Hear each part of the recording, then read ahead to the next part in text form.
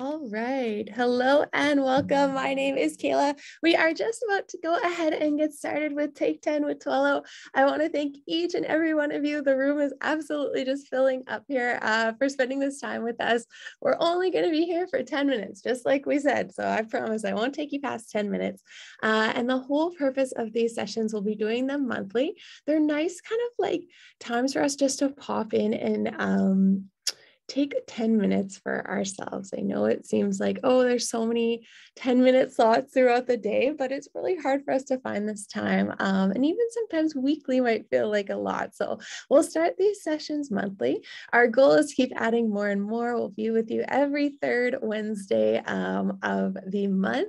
And I know I can see a lot of familiar faces in the room. We have people who are part of larger organizations that we work with, some um, kind of solopreneurs that we might have, some people who are retired, some moms and dads. I see a lot of uh, familiar names in the room. So these sessions are for you. Um, I'll tell you just a tiny bit about myself if you haven't, uh, if we haven't had the chance to meet yet. This is some of my training in this space, but uh, if you know me and if we've had a chance to meet, I always say this is kind of like my mindfulness resume, but this wasn't what first got me started with mindfulness. Mindfulness was a tool that I used when I was really struggling with my own mental health.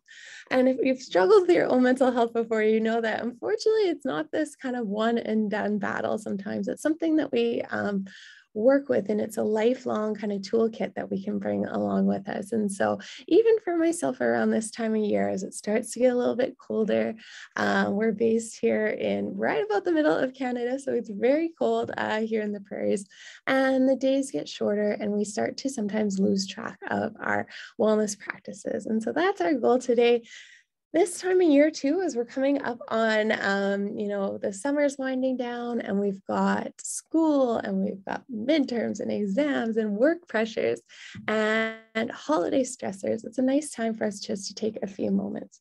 Um, this is the type of work that we care about so much. We work with teams all over the globe um, doing mindfulness practices just like this one that we'll share today and I have a quote I'd like to share with you today, especially on the topic of kind of decluttering your mind or just setting aside some time for yourself to declutter. And the quote goes You should sit in meditation for 10 minutes a day. Unless you're too busy, then you should sit for an hour.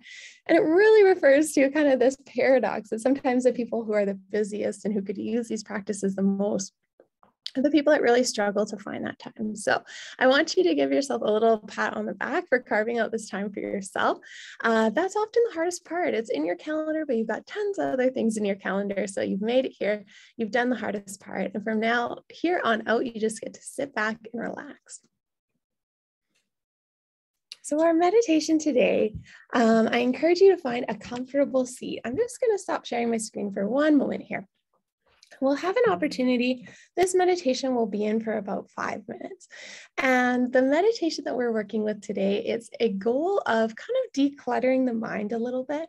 And when we think of what clutters the mind, we're usually as humans, we spend a lot of time in either the future or the past. If it's the future, we're worrying about what might happen, all the different variations of what might happen.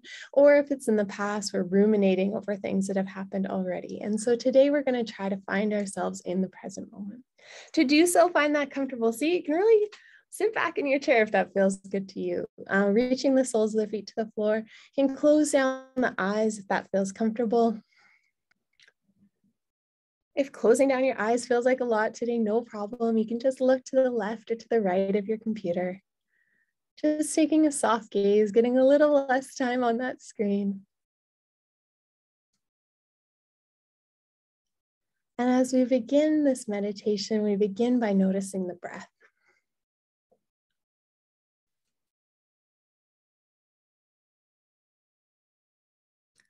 without looking to change it, just noticing it as it is. It doesn't need to be deeper, more shallow, longer, shorter. We're simply observing the breath, your own perfect natural rhythm.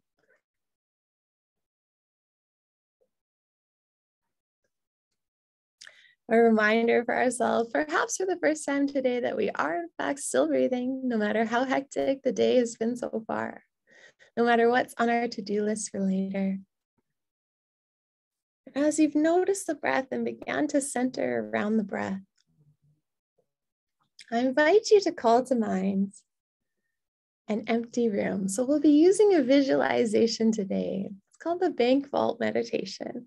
So you'll be imagining yourself wherever that may be in an empty room, whatever pops into your head. It can be large, it can be small. Imagining yourself in first person in this room. And the room is empty, the room is quiet, the room feels peaceful. But as you glance to the left and as you glance to the right, you see a big bank vault door on either side. Both of the doors are open and there's a lot going on. If we think of this as kind of a metaphor for our mind, on both sides of the room is absolute chaos. It's cluttered, it's overwhelming, it's stressful. You can imagine yourself now walking over to the left towards that big bank vault door, just like you imagine in the movies. However, you visualize that, the door goes from the top of the ceiling all the way down to the floor.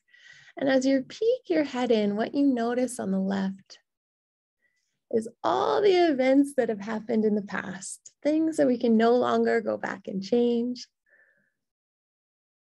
things that happened in the way we remember them, Perhaps the things where we ruminate why did I say that thing to my boss three years ago? Why was I, why did it, it was so embarrassing when I did my presentation that way?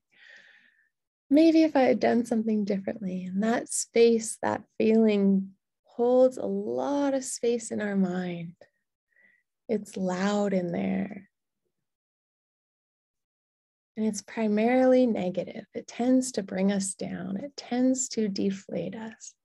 And so, my challenge for you today is to close that bank vault door. You can imagine large door, you're pushing all your weight up against it just to find it locking.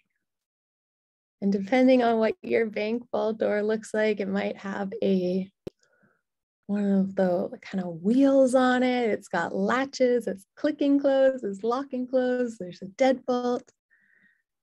And suddenly we notice absolute quiet and peace to the left.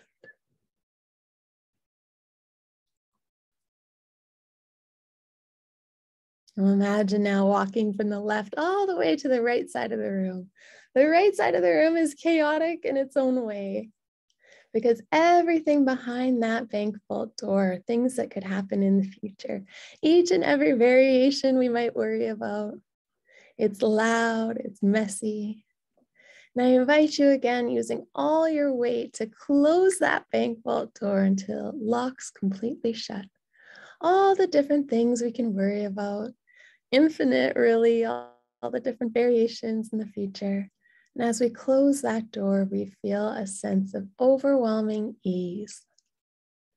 We found ourselves completely and entirely in the present moment. We're no longer worried about things in the future, ruminating over the past. We find the present moment as a pretty nice place to be most of the time.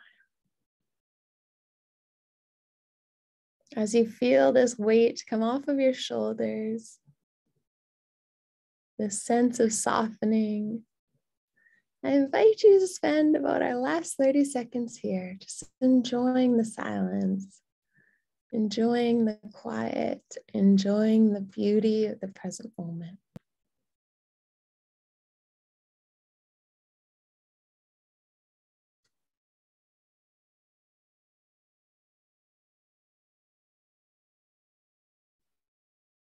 As you're ready, you can take two more deep breaths here. Just closing in, locking up this meditation. And as you're ready, you can blink your eyes back open into the room if they were closed. Welcome back.